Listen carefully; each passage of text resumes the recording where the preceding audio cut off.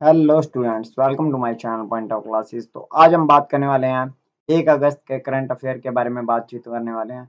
कोई भी डाउट आता है कमेंट सेक्शन में बता देना। ये लैब अटेंडेंट के लिए या जो भी एग्ज़ाम की आप तैयारी कर रहे हैं, उन सभी के लिए इम्पोर्टेंट होने वाला है।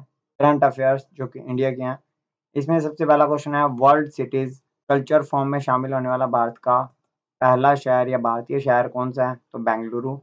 दुनिया के सबसे बड़े म्यूज़ियम युगे युगीन भारत का निर्माण किस शहर में किया जाएगा? तो नई दिल्ली में। किसने दिल्ली के प्रगति मैदान में अखिल भारतीय शिक्षा समागम का शुभारंभ किया? तो प्रधानमंत्री मोदी जी ने। उसके बाद में जो अगला क्वेश्चन है वो है Asian youth junior weight lifting championship का आयोजन किस राज्य में किया जा रहा है? तो यूपी में। तीस जुलाई दो हज़ार तेईस को पूरे विश्व भर में कौन सा दिवस मनाया जाएगा? तो मित्रता का अंतर्राष्ट्रीय दिवस। किसके रिपोर्ट के अनुसार एफ़ वाई ट्वेंटी एट तक तीसरी सबसे बड़ी अर्थव्यवस्था बन जाएगा? एस की रिपोर्ट के अनुसार भारत की बात कर रही है। स्विगी ने साहब ब्रांडेड क्रेडिट कार्ड लॉन्च करने के लिए किस बैंक के साथ साझेदारी किया तो HDFC बैंक के साथ। भारत के तिरासी में ग्रैंड मास्टर कौन बने हैं? तो आदित्य सामंत। सुप्रीम कोर्ट ने ईडी के निर्देश, निदेशक संजय कुमार मिश्रा का कार्यकाल कब तक बढ़ाया? पंद्रह सितंबर तक। हाल ही में आई रिपोर्ट के अनुसार दो में किस देश की जनसंख्या आठ लाख से घट गई है? तो जापान की जनसंख्या। किस देश ने जोनास विगेंगार्ड ने टूर डी फ्रांस का एक संस्करण जीता है तो डेनमार्क देश ने। इसमें मिक्स हैं। इंडिया के भी हैं और वर्ल्ड के भी बीच में चल रहे हैं। सीरिया में भारत के लिए राजदूत के तौर पर किसे नियुक्त किया गया इरशाद अहमद को। केरल में स्टार्टअप मिशन ने फिटन रैक स्टार्टअप को बढ़ावा देने के लिए किसके साथ समझौता किया है? आईएफएससी के साथ। चीन ने पाकिस्तान देश को 2.4 अरब अमेरिकी डॉलर के ऋण पर दो साल की छूट दी है। मतलब किस देश को दिया तो पाकिस्तान को, चीन ने।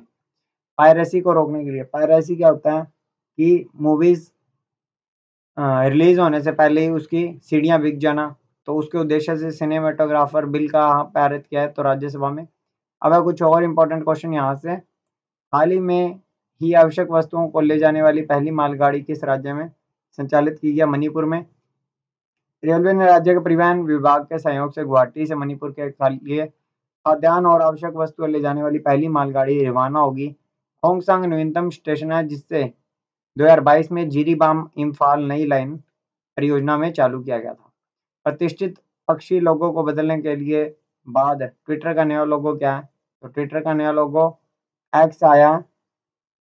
एलोन मस्क द्वारा प्रतिष्ठित पक्षी लोगों को बदलने के बाद ट्विटर को आधिकारिक तौर पर एक्स के रूप में रीब्रांड कर दिया गया है। पिछले साल मस्क द्वारा ट्विटर को चौवालीस बिलियन डॉलर खरीदने में यह नया बदलाव देखने को मिला है। नोबल पुरस्कार विजेता मोहम्मद यूनस, जो हाल ही में खबरों में दिखे हैं, वो किस देश के हैं? बांग्लादेश के।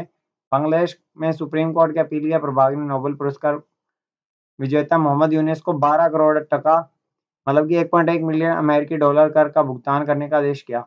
डॉक्टर यूनस ने अपने स्वयं के तीनों ट्रस्टों को धन दान दिया। और doctor Mohammad Yunus trust, Yunus family trust और यूनस सेंटर ट्रस्ट, बांग्लादेश में आयकर अधिकारियों ने इन तीनों ट्रस्टों को दान दिए गए धन पर कर लगाया। विश्व व्यापार संगठन के तेरहवें मंत्री स्तरीय सम्मेलन के अध्यक्ष डॉक्टर थानी अल जोदी किस देश में है? तो संयुक्त अरब अमीरात में है। तो इन्होंने तेरहवें मंत्री स्तरीय सम्मेलन के अध्यक्ष के रूप में इन्हें चुना गया और अबू धाबी में आयोजित किया जाएगा, जो कि सम्मेलन फरवरी 2024 में होगा और इसमें एक देश भाग लेंगे। लास्ट क्वेश्चन है, करमन और थांडी किस खेल से संबंधित है? तो टेनिस से है।